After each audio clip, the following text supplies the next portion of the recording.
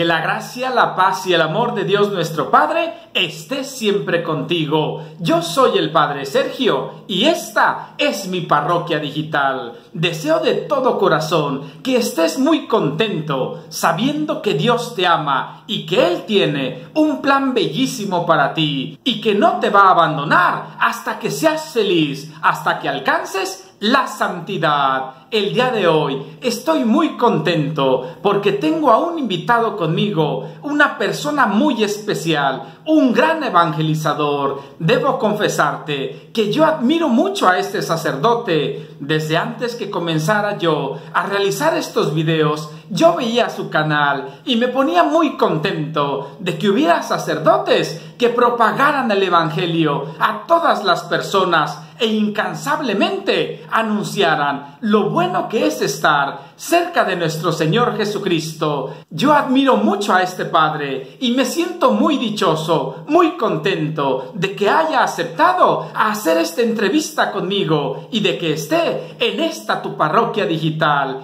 Les quiero dar la bienvenida a todos ustedes al Padre Luis Toro. Él con mucho gusto ha aceptado hacer este video para mayor gloria de Dios. Bienvenido Padre. Te deseo de todo corazón que vivas todos los días enamorado de nuestro buen Jesús y con muchas ganas de anunciar su dulce nombre a todas las personas como hasta el momento lo has estado haciendo. Muchas personas te quieren mucho, sienten mucha cercanía contigo porque tú les has ayudado a sacar muchas dudas que había en sus corazones sobre nuestro Señor Jesucristo, sobre nuestra bella Iglesia Católica, sobre nuestra Santísima Madre. Bienvenido Padre Luis Toro. ¿Te gustaría decirle algunas palabras a todos los feligreses digitales que te están escuchando en este momento?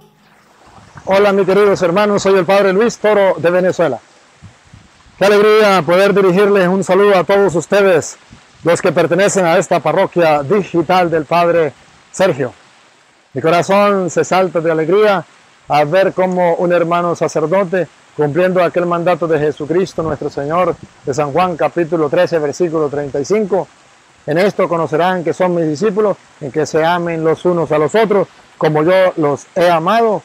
Este hermano sacerdote lo tiene presente y ha tratado pues de hacer este video conmigo. Se lo agradezco para en primer lugar manifestarme ese amor fraternal y esta alegría de poder estar llevando el Evangelio, tanto él como yo, al mundo entero, cumpliendo el mandato de Jesús, de San Juan, de San Marcos capítulo 16, versículo 15, Vaya, prediquen el Evangelio a toda criatura. El que cree, se bautice, se salvará. Y el que se resista a creer será condenado. Padre, mi corazón se llena de regocijo al ver que usted como ministro de Dios Altísimo también está haciendo el esfuerzo de llevar la palabra de Dios a todos los rincones del mundo. Como dice allá eh, Hechos 1.8, recibirán la fuerza del Espíritu y serán mis testigos hasta los confines de la tierra. Saludo a todos los hermanos de esta, de esta parroquia digital del Padre Sergio y decirles que sigan adelante escuchando la palabra del Señor, pues dice nuestro Señor Jesucristo en San Juan, capítulo 8, versículo 31, si perseveran en mi palabra, ustedes serán verdaderos discípulos míos, conocerán la verdad y la verdad los hará libres. Les amo mucho y de todo corazón les mando un abrazo a la distancia y deseo que perseveren hasta el final en esa fe, en ese regalo que Dios nos ha dado.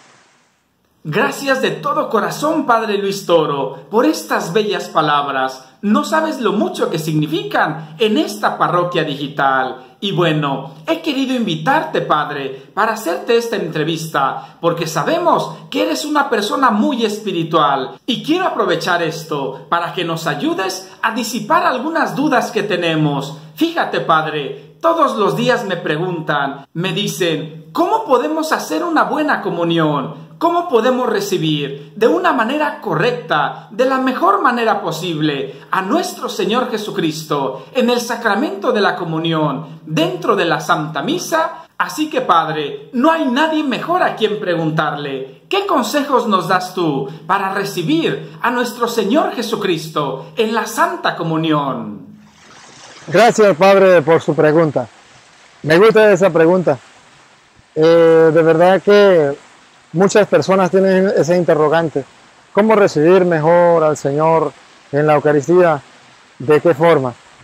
Bueno, en primer lugar debo decirle que no se debe recibir la Eucaristía sin estar convencido que es el cuerpo y la sangre de Cristo. Ya podríamos decir espiritualmente, sería recibirle eh, reconociendo que Él es Dios y está ahí presente. Porque si no, este, estaríamos cometiendo un gran error, porque según dice San Pablo a los Corintios, primera de Corintios, capítulo 11, del versículo 27 en adelante, Él va a mostrar que si pecamos nosotros contra el pan o contra el cáliz, estamos pecando contra el cuerpo y la sangre de Cristo. Y dice, examinen cada quien su conciencia para cuando lo vayan a recibir, porque quien coma y beba sin discernir, es decir, sin descubrir que ahí está Cristo, se traga y come su propia condenación. Entonces, la primera actitud espiritual es reconocer que ahí está Jesucristo y que ese es Dios. Jesucristo es Dios y está ahí. Si no fuera Dios, no podría ser ese gran milagro de quedarse en un pedazo de pan. Eso solamente lo puede hacer Dios. Y por eso, como solamente lo puede hacer Dios, yo tengo que convencerme que ahí está Dios. Al convencerme que ahí está Dios, yo puedo recibirlo con el mayor respeto posible. Ahora, la iglesia nos dice que podemos recibirlo de varias maneras. Uno puede ser de pie y otro puede ser de rodilla. Hablemos ahí. Miremos primero eh, recibirlo de pie. Normalmente la gente lo recibe de pie. Otros acostumbran a arrodillarse. Pero algunos me han dicho, padre, pero es que el sacerdote no me da la comunión si lo recibo yo de rodillas. Debo decirle que la iglesia lo permite recibirlo de rodillas. Pero si el sacerdote no lo recibe, no, no le da la comunión de rodillas a usted, no se ponga a pelear con él. Use la inteligencia que Dios nos ha dado. Entonces, cuando esté comulgando el que va adelante, cuando el sacerdote le está dando la comunión el que está adelante, usted que va detrás, dobla la rodilla delante del Señor y se levanta y recibe la comunión. No hay ningún problema, de modo que usted se rodilla antes de recibir la comunión, cuando aquel que está delante suyo la esté recibiendo. Usted ya le expresó al Señor su respeto, su admiración y también creyendo que es Dios, se arrodilla delante de Él. No es arrodillarse por arrodillarse, es arrodillarse creyendo que es Dios. Así lo están adorando. Y luego lo recibe con sincero corazón y se va a su asiento a darle gracias, a hacer lo que dice esa común unión de San Juan capítulo 6, versículo 56. Eh, Quien me come dirá, Él en mí y yo en Él. Entonces entro en una común unión con el Señor, le doy gracias dentro de mi corazón, lo he recibido dentro de mi ser, entonces yo paso a ser sagrario vivo de Dios, Él habita en mí, pero debo aprovechar esa oportunidad para entablar una amistad profunda, un encuentro personal, un encuentro espiritual con el Señor, aquello que dice Jesús, Dios es espíritu y quienes lo adoran deben hacerlo en espíritu y en verdad. Eh, luego, otra persona me dice, Padre, pero debo recibirlo en la boca o en la mano. La iglesia lo permite recibirlo en la boca y recibirlo en la mano. Normalmente se permitió recibirlo en la mano para hacer más rápida eh, la distribución. Uno recibe en la mano, se quita y viene el otro. Y después que uno se quita, comulga. Pero parece que esto no funcionó porque la gente lo recibe en la mano, se hace la cruz, después comulga y se quita. O sea, se hizo más largo. Eh, hay sacerdotes que no les gusta darle la comunión en la boca a la gente porque dicen que tiene que ser en la mano. Eso es un error. La iglesia no manda eso. La iglesia dice puede ser en la boca, puede ser en la mano. Ahora, después de ese permiso que dio la iglesia este, de recibirlo en la mano, hemos descubierto de que se presta para faltarle respeto al Santísimo, puesto que muchas personas lo agarran y se lo llevan a su casa la meten en un libro, la hostia, o lo llevan a su casa y la guardan allá y se olvidan y hasta se pierde. Otros lo llevan a secta satánica, se lo roban y se lo llevan a profanar el Santísimo. Por eso, si me piden un consejo, ¿cuál es la mejor forma? Yo le diría, es recibirlo en la boca, con el mayor respeto, con la mayor fe. Pero es pecado recibirlo en la mano, no, es pecado que reciban en la mano y le falte el respeto. Eh, a veces incluso las manos están sucias y no se recibe como debería ser. Entonces mejor recibirlo en la mano. Esa es la condición. Pero recuerden que lo más importante es la parte espiritual, donde yo me convenzo de quién está ahí, mi Señor Jesucristo, y creo que Él es Dios, y entonces yo lo adoro eh, en, en el pan y en el vino. A veces me dice, Padre, pero si yo lo recibo solamente en el pan, el Padre solamente comulga el pan y el vino, y yo solamente pan y vino no. ¿Por qué no? Le voy a explicar. Observen ustedes cuando están en la misa, el sacerdote agarra pan y agarra vino cuando están cantando el cordero. Agarra el pan, lo parte. Usted verá, observen en la misa, lo parte. Y agarra un pedacito y lo echa al cáliz, al vino. Y dice unas palabras en secreto. Las palabras que dice en secreto es, el cuerpo y la sangre de Cristo. Suelta el pedacito de pan en el cáliz.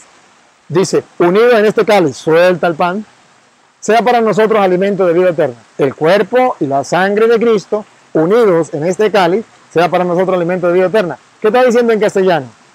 Que antes estaba el cuerpo por un lado, la sangre por otro lado, es decir, estábamos recordando la muerte de Cristo. Porque en la misa Tres cosas estamos celebrando. La pasión, muerte y resurrección de Cristo.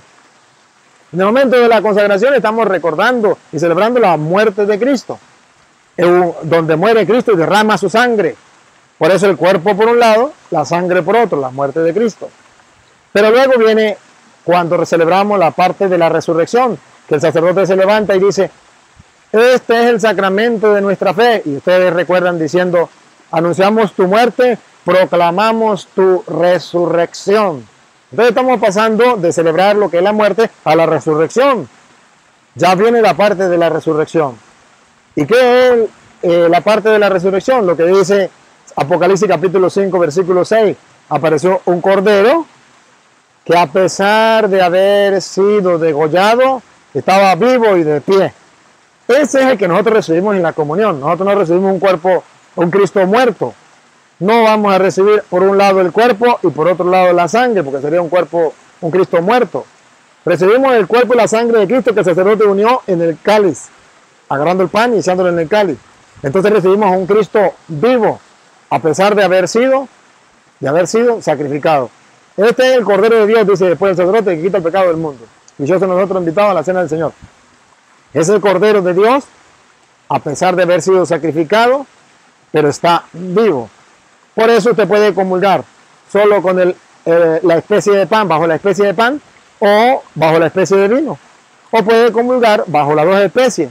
Lo que sí debe saber que el cuerpo y la sangre de Cristo está en el pan y el cuerpo y la sangre de Cristo está en el vino. Es un error teológico cuando a veces eh, he visto, por ejemplo, que los ministros extraordinarios, el sacerdote dice el cuerpo de Cristo y luego el ministro extraordinario viene y dice la sangre de Cristo, como si tuviera separado el cuerpo y la sangre de Cristo. No, es el cuerpo de Cristo en el pan, la sangre de Cristo, el cuerpo de Cristo en el pan y el vino, la sangre de Cristo en el pan y el vino.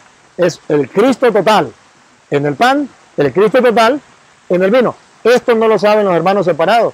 Y por eso los hermanos separados siempre nos están criticando a los católicos. Dice, los curas se comen el cuerpo, el, cuerpo y la sangre, y a ustedes le dan el puro cuerpo.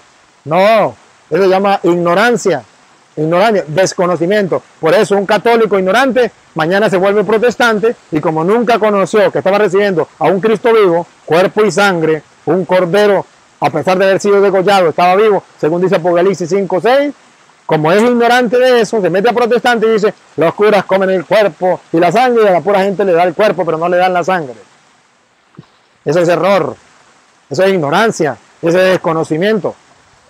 Entonces debemos saber, hermanos, que podemos recibirlo solo en la hostia, en la especie de pan o en la especie de vino. Incluso si se acabó el pan, ¿El sacerdote puede seguir repartiendo la comunión con el puro vino, el cuerpo y la sangre de Cristo?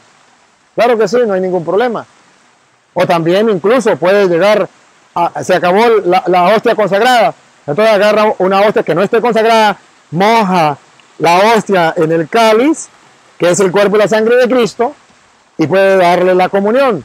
Ciertamente esa hostia no está consagrada, pero en este momento pasa a ser como un vehículo, un instrumento por donde pasa el cuerpo y la sangre de Cristo, que es, está en el cáliz. Entonces, bien puede recibirse el cuerpo y la sangre de Cristo. Eh, aunque esa hostia no esté consagrada, ciertamente en esa hostia que no está consagrada no está el cuerpo y la sangre de Cristo, pero en el vino, que está siendo transportado del cáliz a la boca suya, en ese vino sí está el cuerpo y la sangre de Cristo. Entonces usted puede recibirlo, no hay ningún problema. Este, solamente que hay personas que no, no lo saben. Padre Sergio, gracias por su pregunta y de verdad que me alegra mucho poderle eh, responder a los hermanos. Recuerden, la mejor actitud es una actitud espiritual donde se reconoce a Dios como nuestro Señor, está presente en la hostia consagrada, tal como Jesús dijo, allá en Juan 6:51, yo soy el pan vivo bajado del cielo, que coma este pan vivirá para siempre, el pan que yo le daré en mi carne para la vida del mundo. Si creo eso, pues estoy recibiéndolo.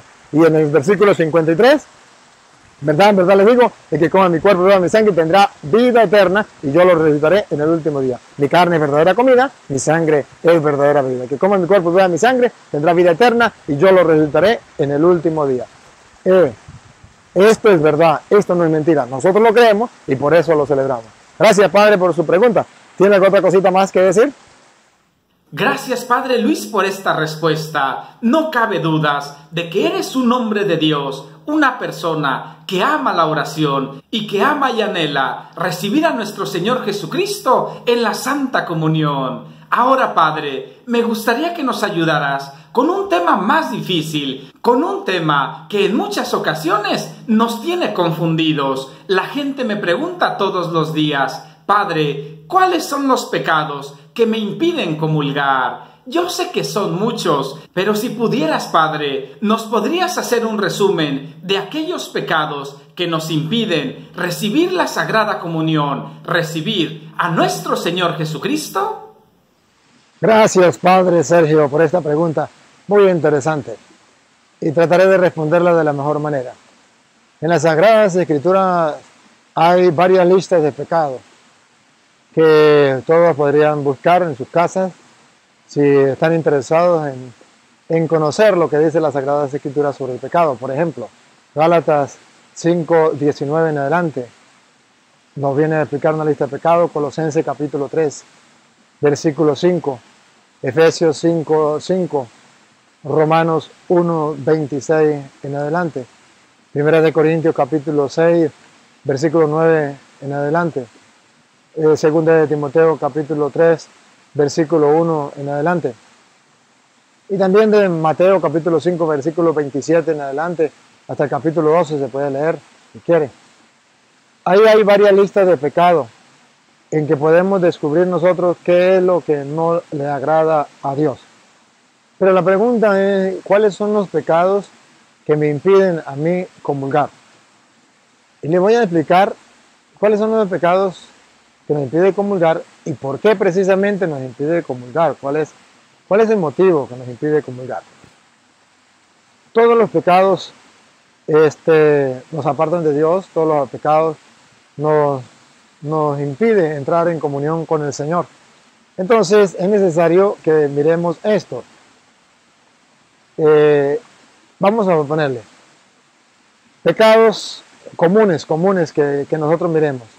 Y después miramos si nos impide o no comulgar. Eh, por ejemplo, el robo, por ejemplo, el vivir en, adulterio, vivir en concubinato, ir a los brujos, a los espiritistas, fumar el tabaco, este, por ejemplo, profanar la Eucaristía, hacerse pasar por sacerdote, eh, y confesar sin ser sacerdote. Mm, también hay otro pecado, por ejemplo, el odio, eh, el vivir arrejuntado sin ser casado, los homosexuales que tienen eh, este, o parejas, hombre con hombre, mujer con mujer, lesbianas, son pecados comunes, son pecados graves, el aborto, el asesinato, mm, la calumnia, la difamación, son pecados que, que nos dañan el alma. ¿Y cuando nos prohíbe estos pecados comulgar? Nos prohíben comulgar cuando no hay un sincero arrepentimiento, cuando la persona no quiere cambiar de vida, nos impide confesar y nos impide comulgar. Las dos cosas. ¿Por qué? Primero, ¿por qué nos impide comulgar? Eh, perdón, confesar. Porque no hay un arrepentimiento. Y recuerde que para una buena confesión se necesita examen de conciencia, dolor de haber pecado, propósito de la enmienda. Y si no hay propósito de la enmienda, no hay una sincera confesión. Entonces yo tengo que hacer eh, un propósito de enmienda para poder yo confesarme bien. Si no, está bien, yo voy y le confieso el pecado al Padre, pero no quedo perdonado. Porque no hay una, un sincero arrepentimiento y un deseo de cambio, de conversión. Pero tampoco me, tampoco me permite comulgar, porque no hay eh, esa sincera conversión, ese querer cambiar. Entonces la iglesia dice, aquella persona que persiste en el pecado, ¿para qué se confiesa? Si no quiere cambiar. Ahora, si quiere cambiar, ándale, confiésate, lucha, si vuelve a caer, se vuelve a levantar, sigue adelante. ¿Y para qué comulga? Para tener fuerza y seguir adelante. Se vuelve a caer, vuelve a confesar, vuelve a comulgar, recibe la fuerza para seguir adelante. Pero si no quiere cambiar, ¿Para qué se confiesa? Es como ponerle, decía un santo, es como ponerle a un puerco, un cochino, un cerdo, ponerle un vestido blanco, un traje blanco y soltarlo para que se revuelque en la pichera, en el barro. Lo va a ensuciar de una vez. ¿De qué le sirvió? De nada. Ahora, cuando la iglesia dice eh, no debe comulgar o impide comulgar, no significa que te le va a poner un revólver en el pecho o una pistola en el pecho para que no comulgue, no. Implica que se le llama a la conciencia, a la convicción de la persona, para que la persona diga, no debo comulgar. ¿Quiénes? Específicamente. En primer lugar, los que viven arrejuntados, el concubinato. ¿Por qué no pueden comulgar. Porque viene la pregunta, ¿usted está dispuesto a separarse de, ese, de esa persona? No. Entonces no debería comulgar porque no hay sincero arrepentimiento y no hay eh, propósito de enmienda. ¿Usted está dispuesto a casarse? No. O sea, ni una cosa ni la otra. ¿Usted está dispuesto a acostarse con esa persona esta noche? Sí. Entonces, ¿para qué comulga?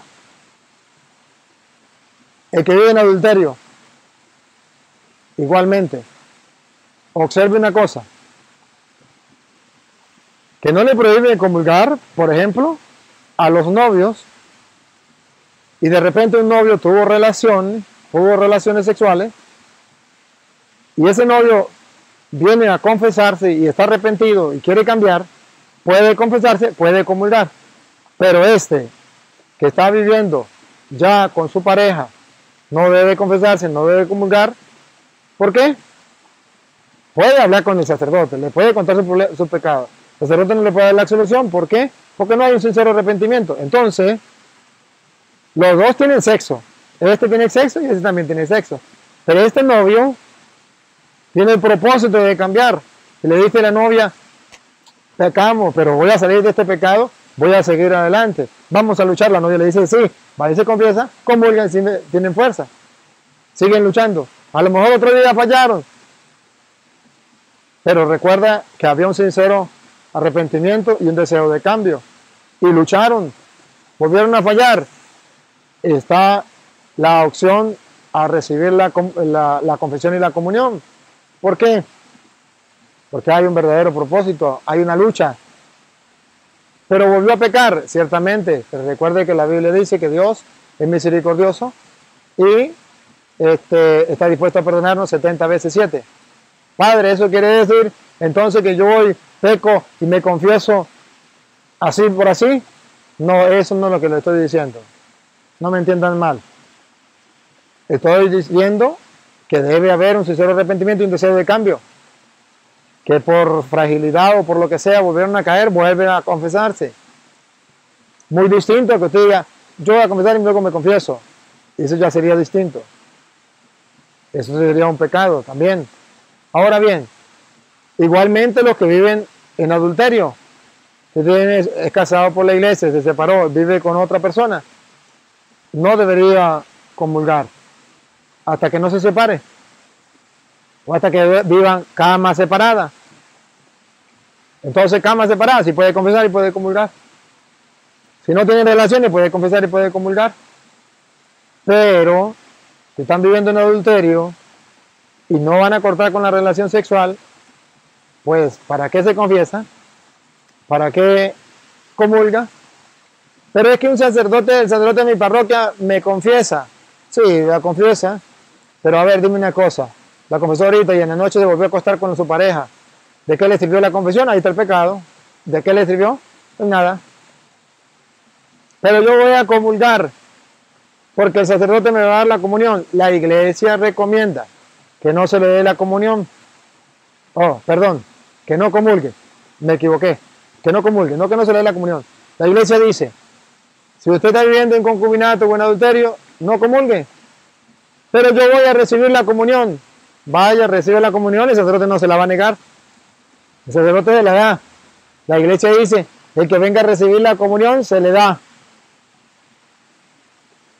aunque no debería. ¿Por qué no debería comulgar? ¿Por qué? Y, póngale no solamente el concubino, el que había resultado, el casado por, los, eh, por la iglesia, o casado eh, y vive en adulterio, el casado simplemente por lo civil, o ¿por qué no debe comulgar el homosexual que tiene una pareja estable? ¿Por qué no debe confesar, este, mm, comulgar la lesbiana que tiene una pareja estable, que es muy distinto a un homosexual que cometió pecado, está arrepentido, quiere luchar por no pecar, ese puede confesarse, puede comulgar. Claro está, hay un arrepentimiento y tiene deseo. Una lesbiana está luchando por salir, puede confesar, puede comulgar. Pero un homosexual que tenga su pareja y no va a hacer nada para dejarlo, o una lesbiana y no va a hacer nada para dejarlo, la iglesia recomienda para que se confiesa ¿Para qué comulga? No le va a servir de nada. Una persona que le tenga odio a otra persona. ¿Para qué se confiesa? Y Jesús dice, perdona y serás perdonado. Ya puede confesar mil veces, pero no va a ser perdonado, porque no ha perdonado. ¿Para qué va a comulgar? No está en gracia de Dios, no, no hay una sincera conversión, no hay un cambio, te va a hacer daño. Ya le voy a mostrar el daño que se hace. Una persona que va a un brujo. Una persona que va al brujo. Ajá, está arrepentido, está dispuesto a no ir más. No, es que yo me estoy haciendo una limpieza y tengo que ir varios días porque, ajá, y se va a confesar. ¿Para qué? Si no hay arrepentimiento, si no hay cambio, no debe confesar, no debe comulgar hasta que haya un sincero arrepentimiento, un sincero cambio. Eh, una persona eh, eh, que haya matado, ¿Está arrepentido? No, yo voy a seguir matando. Entonces, una persona que se haya embriagado, un borracho, cometió el pecado de la embriaguez. Ah, bueno, perfecto. ¿Está arrepentido? Sí. ¿Está dispuesto a apartarse del alcohol? Ah, no, no, no. Yo esta semana, este fin de semana otra vez me voy a rascar, otra vez me voy a embriagar. Y no, no estoy dispuesto. ¿Para qué confiesa? ¿Para qué comulga? Un drogadicto. ¿Está dispuesto a dar la droga? Sí. Ah, bueno, perfecto, dale que volvió a caer, bueno, vuelve a confesar vuelve a comulgar, vamos para adelante, agarrando fuerza, hasta, hasta lograr vencer. Eh, el que va al espiritismo, que lee tabaco, el que fuma el tabaco, que lee las cartas, estos son pecados. Eh, el que calumnia, usted calumnió a una persona, es un pecado. ¿Está arrepentido? Sí. ¿Está dispuesto a no hacerlo más? Sí, entonces te puede confesar y puede comulgar. No, es que yo, a mí me gusta levantar calumnia y voy a seguir así. ¿Para qué se confiesa? ¿Para qué comulga? Igualmente chismoso. El difamador, el que habla mal de, de las personas. Si hay un sincero cambio, ándale. Puede confesar y puede comulgar. Y esto es lo que yo quisiera que hoy analicemos. Hay pecados graves. El que roba. Usted robó, está bien. Pero está dispuesto a cambiar. Puede confesar y puede comulgar. ¿No está dispuesto a cambiar? ¿Para qué? ¿Eh? Ahí es. Tiene que haber un sincero arrepentimiento. ¿Qué pasa si la persona no quiere un sincero arrepentimiento? ¿Por qué la iglesia recomienda este, no, no comulgar? Porque la Sagrada Escritura en San Juan capítulo 13, versículo 25 dice, eh, lo leo pues del 24, Simón Pedro le hace una seña y le dice, pregúntele de quién está hablando cuando él dijo, uno de ustedes me va a entregar. Él recostándose sobre el pecho de Jesús le dice, Señor, ¿quién es? Le respondió Jesús, es aquel a quien dé el bocado que voy a mojar. Y mojando el bocado, lo tomó y se lo, da a Judas, hijo de Simón Iscariote. Y escuche lo que viene. Entonces, tras el bocado, entró en él Satanás. ¿Observan? Tras el bocado entró en él Satanás. ¿Jesucristo le negó la comunión a Judas? No. Se la dio. Él la recibió. Y tras la comunión entró Satanás. La pregunta es, ¿por qué? Mire la respuesta. Eh, Jesús le dice, lo que vas a hacer, hazlo pronto. Otra vez, lo que vas a hacer, hazlo pronto. ¿Qué significa? Que en Judas no había ningún arrepentimiento, no había un propósito de enmienda. Sabía que era traidor, estaba traicionando al Señor. Y la pregunta es, ¿estás arrepentido? ¿Estás dispuesto a no hacerlo? No. Dice Jesús, lo que vas a hacer, Mire entonces que Judas tenía claro que él lo iba a hacer. Llueva, trueno y relampagué. Lo que va a hacer, hazlo pronto. ¿Por qué detrás de la comunión entró Satanás? Porque él no estaba arrepentido, no tenía propósito de enmienda. Por eso la iglesia dice, a una persona que no tenga propósito de enmienda, pues no, primero la confesión es mala. Segundo, no debería comulgar, pero si viene a comulgar, hay que hacerlo de Cristo, darle la comunión, a pesar de que tras el pan entra Satanás a obrar. ¿Por qué? Porque lo que vas a hacer, hazlo pronto. Está decidido hacerlo. Ahí está el pecado que me impide comulgar. ¿Cuál es el pecado que me impide comulgar? Cualquier pecado grave que yo no esté arrepentido, que yo no quiera cambiar, que no tenga propósito de enmienda, ese me impide comulgar. ¿Qué pecado me permite a mí comulgar? Cualquier pecado, pero que yo esté arrepentido y quiera cambiar. Tenga propósito de enmienda, sea el pecado más grande del mundo. Y puede ser de dos maneras. Uno, me arrepiento, voy y me confieso. Y comulgo. ¿Por qué comulgo? Porque hay un sincero arrepentimiento, porque hay un propósito de enmienda y Dios me perdona a través del sacramento de la confesión, ya puedo comulgar. No pienso hacerlo. A lo mejor vuelvo a fallar, pero mi propósito en ese momento no es. Por eso en el yo, propongo firmemente no volver a pecar. Propongo. Es, eh, eh, eh, es lo que voy a hacer. Es el esfuerzo, es la lucha. Es un propósito. Estoy en la lucha. Entonces, cualquier pecado, por muy grande que sea, si yo estoy arrepentido, tengo propósito de enmienda, ese pecado no me impide comulgar. ¿Por qué? Porque tengo la opción a confesarme y puedo comulgar. Y la iglesia dice, y si ha cometido un pecado y no ha podido confesarse, y entonces, por ejemplo, tiene que comulgar porque a lo mejor su hijo está en la primera comunión o por cualquier motivo, y tiene ese pecado, pues en el momento del acto de contrición en la misa, pídele perdón al Señor, hace el propósito de no volver a pecar, propósito de enmienda y el propósito de confesarse lo más antes posible. Y después de la comunión puede ir a confesarse lo más antes posible, sin hacer de esto una costumbre. A eso lo recomienda la Santa Madre Iglesia. Entonces, queridos hermanos, la Iglesia nos aconseja que el pecado grave que no tenga yo un sincero arrepentimiento y un propósito de enmienda me impide confesar y me impide comulgar porque no, no será una buena confesión y no será una buena comunión.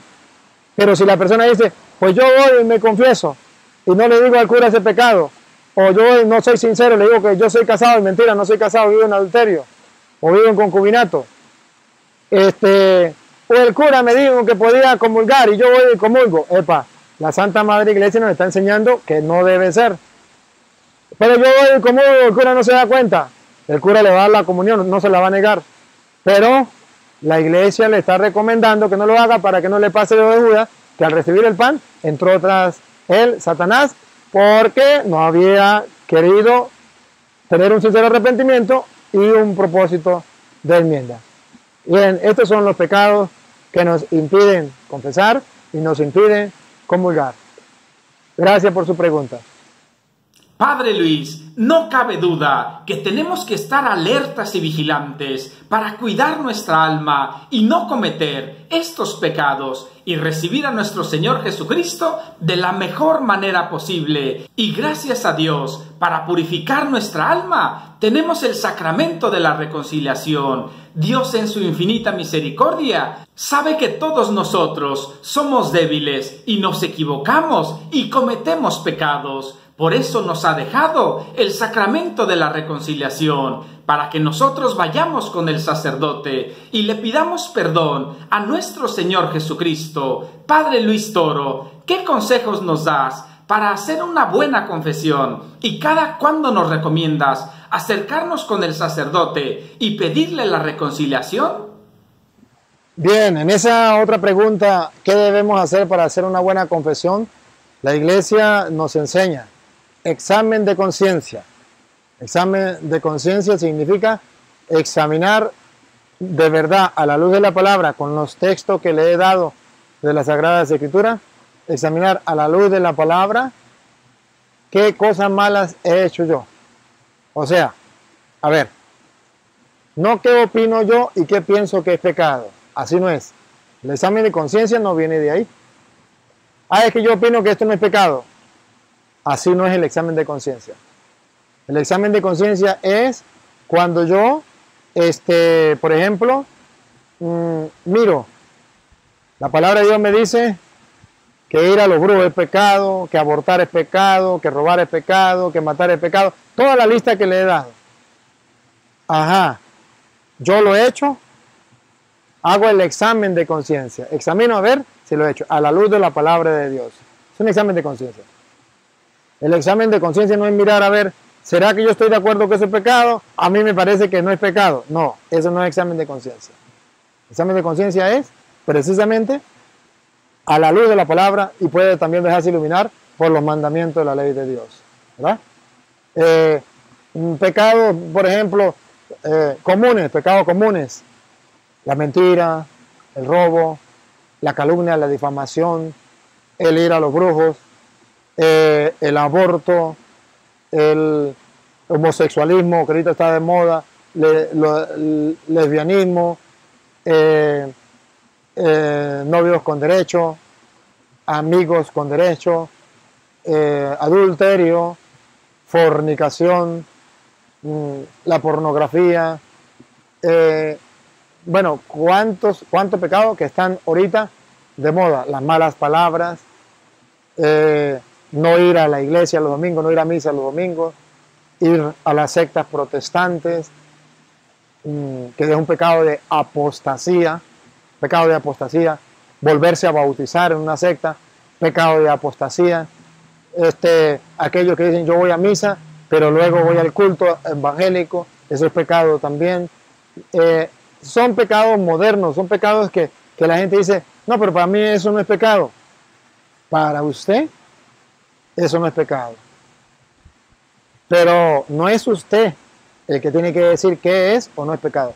Cuando usted sea Dios, usted dice qué es o no es pecado. Ahorita usted no es Dios. Entonces debe escuchar la palabra de Dios que nos dice qué es pecado. Exactamente el problema de Adán y Eva, lo que el diablo lo llevó es a comer del árbol de la ciencia del bien y del mal para decir ellos mismos qué es o qué no es pecado. Por ejemplo, eh, la, hechicería, la hechicería, los babalaos, los santeros, el culto a la muerte, el, eh, esto lo de los muertos, que ponerle comida para que vengan a comer, superstición. Estas cosas, está cayendo en las cartas, en el tabaco, todos son pecados. Que la gente dice, no, para mí no es pecado, ese es problema suyo, pero sí es pecado. La desobediencia de los padres, el insulto a los padres, levantarle la mano a los padres, son pecados comunes. El pelear con el hermano, el odiar al otro, el, no hacerle un favor a la persona, el no hacer obras de caridad, no prestarle un servicio a mi hermano, el poder hacer un bien y no hacerlo, pecado de omisión. Este, y, también el pecado de pensamiento que es consentir eh, hacer cosas malas, consentirlo, consentir hacer cosas malas y deleitarme en eso. Eso también es pecado. Bueno, son los pecados que nos van atormentando y que, ¿qué debo hacer para un examen de conciencia? Examinar todo eso, mirar a ver si yo lo he cometido. Segundo lugar, dolor de haber pecado. Oye, Señor, tú eres mi Dios, yo te he fallado, he hecho lo que no te agrada. Dolor, me pesa, dolor de haber pecado. Propósito de enmienda, yo propongo no volverlo a hacer. Y ese propongo es con Dios, no de palabra, ese propongo es con Dios. Pero si algún día vuelvo a fallar, Dios me vuelve a perdonar rico en misericordia. Santo es luchar por no pecar y levantarse cuando se ha pecado. Eso es un santo.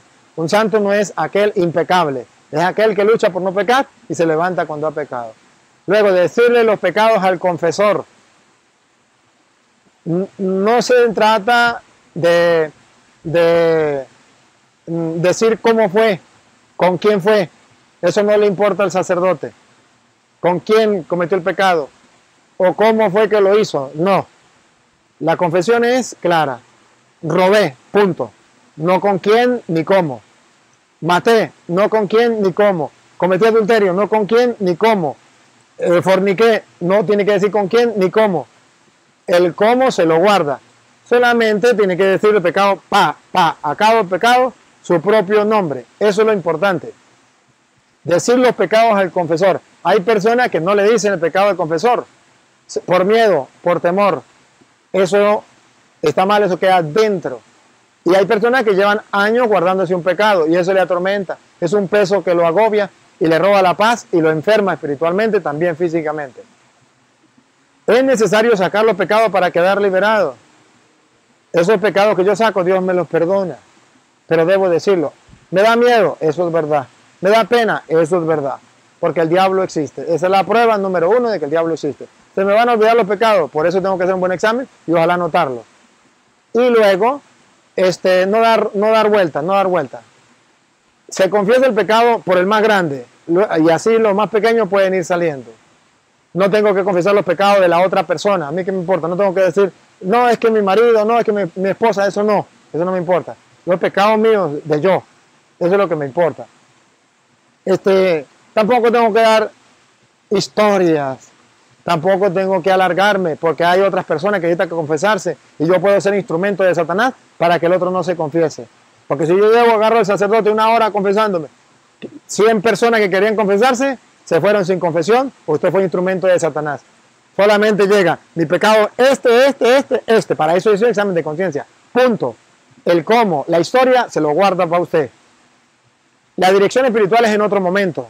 Cuando va a confesarse es a confesar los pecados y luego cumplir la penitencia. Cumplir la penitencia significa que el sacerdote le va a decir, vaya, dele gracias a Dios de esta manera, rezando un rosario, dando un Padre Nuestro, una Ave María, dándole un mercado a los pobres, es darle gracias a Dios.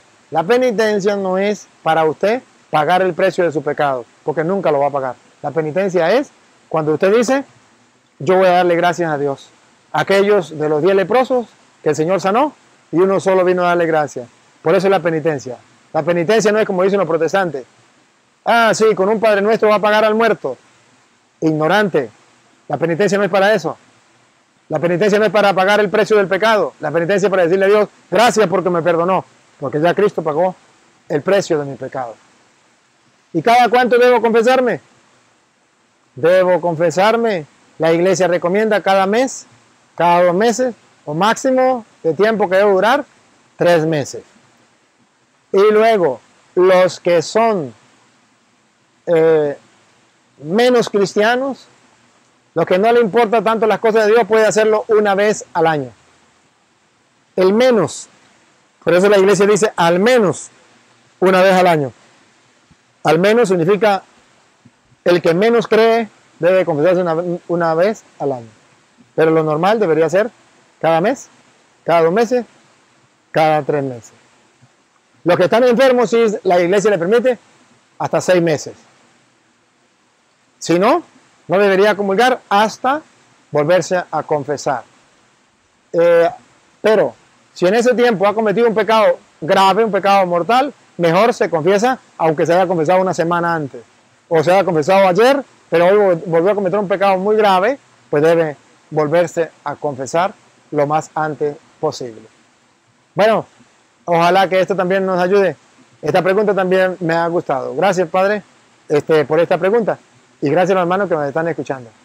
Eh, otra cosita? Por último, Padre, tú tienes ya muchos años como sacerdote y eres un misionero incansable. Estoy totalmente seguro que en tu caminar has ayudado a muchas personas a acercarse a la Eucaristía y recibir a nuestro Señor en el sacramento de la reconciliación. ¿Qué consejos nos das tú desde el fondo de tu corazón y con toda la experiencia que tienes para recibir a nuestro Señor Jesucristo, siempre con mucha devoción, con mucho amor, con mucha fe y esperanza. Querido padre, Sergio, gracias, gracias por esa otra pregunta que de verdad me gusta, me interesa responder desde lo más profundo de mi ser. ¿Cómo recibir a Jesucristo con piedad, con amor, con respeto, con cariño? Eh, las personas que quieran hacerlo el primer consejo que le doy es el, consejo que da San Pablo en 1 de Corintios capítulo, capítulo 11, en el versículo 28. Dice San Pablo, y este consejo es el que yo le doy para que lo reciban con piedad, con respeto, con esperanza, con fe. Examine pues cada cual y coma así el pan, examínense pues cada cual, y coma así el pan y beba del cáliz. Pues quien come y bebe sin discernir el cuerpo, come y bebe su propia condenación. El primer consejo que le doy es que cuando vaya a comulgar, sea capaz de discernir, de descubrir a la luz de la fe que en ese pedazo de pan y en ese vino está el cuerpo y la sangre de Cristo. Es discernir que ahí está el cuerpo y la sangre de Cristo. Descubrir que ahí está. Y descubrirlo a la luz de la fe. Para no pecar contra el cuerpo de Cristo, porque en el versículo 27 dice, por tanto, quien coma el pan o beba del cáliz del Señor indignamente, será reo del cuerpo y la sangre del Señor el que coma del pan y beba del cáliz, indignamente será reo del cuerpo y la sangre de Cristo. Eso significa que San Pablo nos da un consejo, que no debo pecar contra ese pedazo de pan consagrado, contra el cáliz, contra el vino consagrado, porque ahí está el cuerpo de Cristo. Si le falta el respeto, estoy pecando no contra el pan, no contra el cáliz, sino contra el cuerpo y la sangre de Cristo. ¿Qué otro consejo les doy? Le doy el consejo de la que tengan piedad. Eso, piedad. Y piedad no es otra cosa sino eh, respeto por Dios y por las cosas de Dios. Cuando nos vayamos a, acercar a la comunión, debemos acercarnos con piedad, con respeto. La Santa Madre Iglesia nos recomienda que deberíamos ir a comulgar así. Que esto significa que mi corazón se dirige a Dios y Dios viene a mi corazón. Eso es piedad, respeto por Dios y las cosas de Dios. Y entonces yo voy a recibir la comunión eh, con toda la fe. Y debo haber antes hecho un ejercicio de fe. Ojalá repetir en mi memoria, habiéndomelo aprendido de memoria, el capítulo 6, versículo 51 de San Juan. Yo soy el pan vivo bajado del cielo. Si uno come de este pan, vivirá para siempre. Debo recibirlo con esa esperanza de vivir para siempre, con esa fe. Si Jesús dijo, yo soy el pan, yo lo creo, aunque no lo veo, pero lo creo. Yo soy el pan mm, vivo, bajado del cielo. Si uno come de este pan, vivirá para siempre. Debo aprovechar esta oferta. Si uno come de este pan, oferta. Si uno come de este pan, oferta, oferta. Si uno come de este pan, vivirá para siempre. Entonces aprovecho la oferta en fe y la esperanza. ¿Para qué lo hago?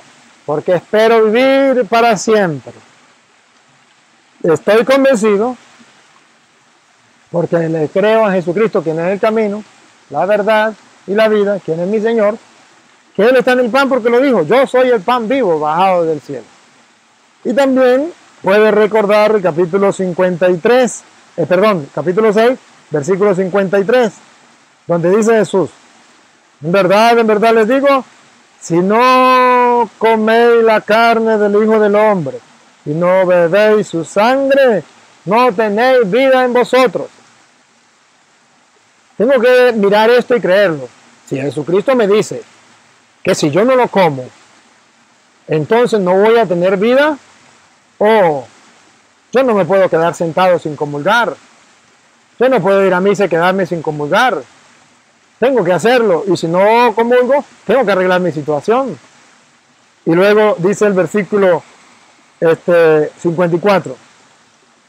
El que come mi carne y bebe mi sangre tiene vida eterna. Eso es recibir la comunión con fe. Fe en la palabra del Señor. Creo no solamente en Jesús, le creo a Jesús, le creo a su palabra. El que come mi carne y bebe mi sangre tiene vida eterna. Debo creerle a la palabra de Jesús. Porque él mismo reclama en Lucas 6, 46. ¿Por qué me dice Señor, Señor y no hace lo que yo les mando? El que come mi carne y bebe mi sangre tiene vida eterna y yo lo resucitaré en el último día. Esa es nuestra esperanza. Con esa firme esperanza debemos recibirlo. Con ese anhelo en nuestro corazón. Con un deseo grande de poder tener vida eterna y resucitar con Él en el último día. Por eso me acerco con piedad, con respeto, sin comer chicle, sin estar hablando con el compañero. Me acerco a recibirlo. Y ojalá, antes de recibirlo, mientras el compañero que va adelante está recibiéndolo, yo puedo arrodillarme y me levanto rápidamente para recibir la comunión. Y si el sacerdote me lo permite recibirlo de rodilla, pues lo recibo de rodilla. Y si no, doble la rodilla antes de que me toque a mí, cuando está comulgando el otro, para, para demostrarle mi respeto, mi adoración, creyendo que Él es Dios, a Jesús. Y luego dice, porque mi carne es verdadera comida y mi sangre es verdadera bebida. El que come mi carne y bebe mi sangre permanece en mí y yo en él. Eso se llama común unión. Versículo 56. El que come mi carne y bebe mi sangre permanece en mí y yo en él. Esto es la común unión que yo debo creer. Por eso debo acercarme a la comunión. Yo quiero vivir en él y él en mí. Y cuando me siento, debo sentarme a pensar esto. Él vive en mí y yo en él. Porque está escrito eso. Si me come, vivirá él en mí y en Él. El versículo 57 dice, lo mismo que el Padre que vive me ha enviado y yo vivo por el Padre, también el que me coma vivirá por mí. Hay que comerlo. El que me coma vivirá por mí. Entonces yo simplemente tengo que ser consciente que yo no puedo vivir por mí mismo, sino que yo vivo por Cristo. Es Cristo quien vive en mí. El que me come vivirá por mí. Tengo que tener conciencia de esa realidad. Si no tengo conciencia de esa realidad, entonces estoy fallando. No debería comulgar. Aunque me hubiese confesado pronto. Pero si yo no creo que Jesús está en la hostia, y si, no tengo la esperanza de hacerme uno con Él y vivir con Él, creyendo que Él es Dios y está ahí, no debo comulgar, porque no lo estoy reconociendo. Y luego otro consejo, el que le da San Pablo a los Corintios en el capítulo 10, versículo 17, dice, porque uno solo es el pan, aún siendo muchos, un solo cuerpo somos, pues todos participamos del mismo pan. Debemos participar del mismo pan para entrar en común unión entre nosotros. Somos muchos, pero comemos un solo pan y formamos un solo cuerpo. Eso se llama común unión entre nosotros también. Eh, ojalá pues que ustedes y yo nos acerquemos con un respeto, con piedad, a recibir la comunión. Y si no, no nos acerquemos. Y luego, al comulgar, me siento a gustar, a saborear ese encuentro con el Señor en lo profundo de mi ser. Él conmigo y yo con Él. Gracias, Padre, por su pregunta. Padre Luis Toro, muchísimas gracias por haber compartido con nosotros en esta parroquia digital toda esta experiencia tan bonita que estoy seguro que va a ayudar a muchísimas personas a que se acerquen a nuestro Señor Jesucristo y reciban su cuerpo y su sangre de la mejor manera posible. Me siento muy honrado de que hayas aceptado hacer este video conmigo y me comprometo a rezar por ti, Padre, para que el Señor te conceda mucha fortaleza espiritual y vivas como hasta ahora, enamorado de tu sacerdocio y enamorado de ser un misionero para predicar el nombre de Jesús a todas las personas que tanto lo necesitan. Gracias por tu vocación. Gracias por haberle dicho sí a nuestro Señor Jesucristo. En lo personal, eres un modelo para mí. Ánimo Padre, en esta parroquia digital rezamos por ti, a nuestro Señor Jesucristo y a nuestra Santísima Madre, para que te cuiden y te acompañen siempre y en todo momento. Y por último, me gustaría, Padre, que nos des tu bendición a todas las personas que estamos viendo este video. Gracias, Padre Sergio. Muchas gracias por darme la oportunidad de compartir con todos los hermanos de esta parroquia digital y también contigo, hermano sacerdote. Le admiro también por ese esfuerzo que está haciendo de llevar la palabra de Dios a todos los hermanos.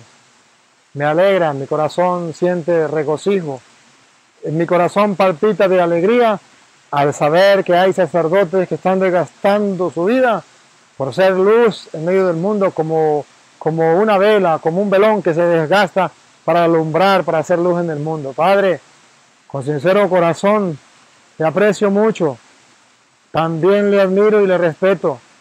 Y le invito a todos los hermanos que nos siguen a través de esta su parroquia digital a, a seguir adelante, a seguir luchando, porque el mundo de hoy va como para un despeñadero, a un barranco, en una estampida, y no hay quien lo salve, quien lo rescate. Y el Padre Sergio está siendo uno de aquellos ministros que Dios ha colocado para salvar almas, para rescatarlas en esa estampida que el mundo los lleva hacia el abismo. Me alegra mucho, le felicito por ese trabajo que está llevando a cabo y te agradezco la oportunidad que me ha brindado de compartir con sus feligreses en esta parroquia digital.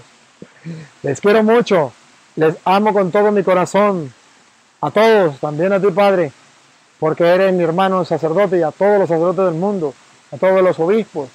Verdaderamente me siento orgulloso de ser parte de la iglesia de nuestro Señor Jesucristo. Y sí, claro que sí, como eh, misionero de la misericordia, uno de tantos sacerdotes que el Papa mandó por el mundo, a proclamar la misericordia de Dios. Voy a implorar la bendición sobre todos. Claro que sí, con alegría, con fe, eh, no sin antes darle gracias a Dios por esta bella oportunidad de haber compartido con todos ustedes. Eh, Padre omnipotente, a esta hora del día elevo mi mente y mi corazón hacia ti para darte la gloria, el honor, el poder, la oración que solo tú mereces, pues solo tú eres Dios. Y darte gracias por esta bella oportunidad que me ha brindado de compartir con mis hermanos en la fe a través de esta parroquia digital del Padre de Serio. Te pido, Señor, que tu Santo Espíritu prepare la mente y el corazón de todos aquellos que siguen estas enseñanzas para que la semilla del reino, que es tu palabra, crezca y germine en sus corazones para la vida eterna.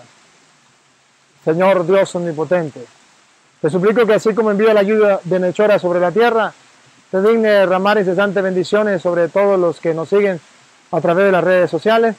En el nombre del Padre y del Hijo y del Espíritu Santo. Amén. Padre Sergio, un abrazo para ti y para todos los que le siguen. Se le quiere mucho. Eh, otro día nos volveremos a encontrar en el camino de la vida. Felicidades. Gracias. Gracias de todo corazón, Padre Luis Toro, por la bendición que nos has dado. Nos encomendamos en esta parroquia digital a tus oraciones y en especial pide por mí, para que sea un buen sacerdote, viva enamorado de mi vocación y anuncie el dulce nombre de Jesús a todas las personas, hasta que mi Señor Jesucristo me llame a su presencia. Sigue adelante, Padre Luis, eres un gran misionero. Muchas personas te necesitamos para que nos recuerdes que Dios nos ama y que la vida junto a Él es fantástica.